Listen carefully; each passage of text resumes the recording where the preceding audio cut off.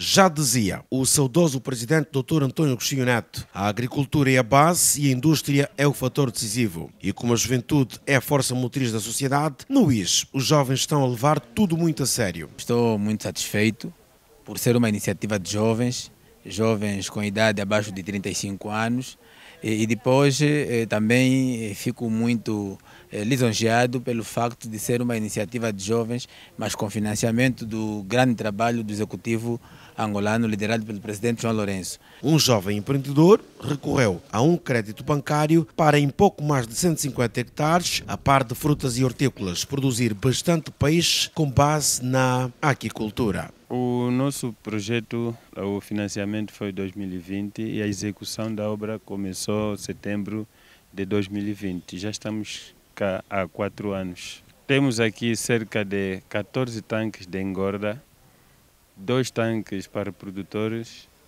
quatro tanques para juvenis, temos o laboratório de alivino e também estamos na área de fruticultura. Isso é, é nós plantamos cerca de 14 mil plantas de frutas diversas.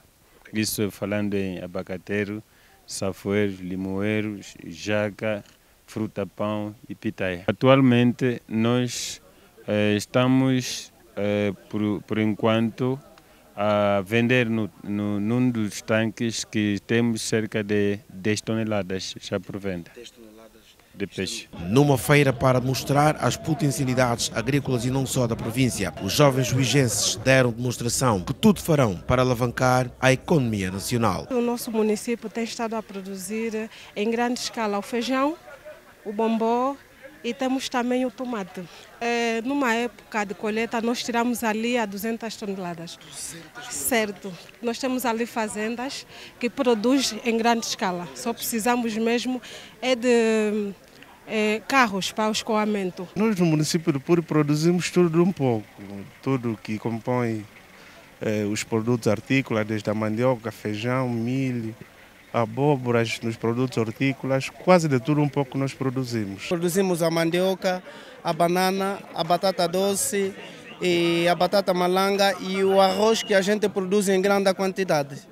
Portanto, o arroz é que vocês mais produzem? Sim, produzimos. quantidade em média? É, pelo menos neste ano tivemos a colheita de 15 hectares. Temos a farta de, de, de, da descasca do arroz, material da máquina para descasca, porque às vezes nós não conseguimos descascar o arroz assim na máquina, descascamos manual e andamos, tem muita dificuldade. A venda, vendemos apenas o quilo a 400 kwanza, só para facilitar a população, os municípios de Ambuila comprar e eles próprios vão pisar no pilão. Produzimos o tijolo, a banana, o café e o chamarrola.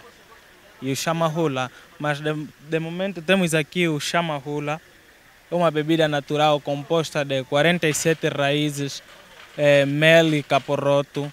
Tem os seguintes efeitos: febre tifoide, hemorroide, potência sexual, dá um apetite de comer e também limpa a barriga. Por seu turno, o primeiro secretário da JMPLA a nível nacional louvou a iniciativa dos jovens empreendedores e garantiu que o braço juvenil do partido que sustenta a governação em Angola vai continuar a apoiar tais iniciativas. Nosso país eh, ainda eh, pratica maioritariamente agricultura familiar, que sustenta as nossas famílias e vamos continuar a trabalhar para que eh, possamos, eh, dia após dia, desenvolver esta grande atividade que, como dizia o saudoso presidente Agostinho Neto, de que a agricultura é a base e a indústria é o fator decisivo temos a plena certeza que com as políticas eh, que o nosso Estado angolano tem, tem, tem implementado, eh, poderemos nos próximos tempos também desenvolver a agricultura e também transformarmos a matéria-prima em produtos mais acabados. Esta é a nossa meta e nós, enquanto líderes juvenis, vamos continuar a, a advogar junto dos departamentos ministeriais, sobretudo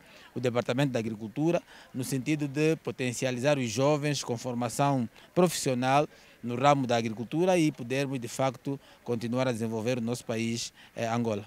Com várias políticas, quer da Jota, quer do MPLA, jovens na província do Ix desenvolvem vários projetos nos setores da agricultura e aquicultura. TV Belas. Juntos criamos a nossa história.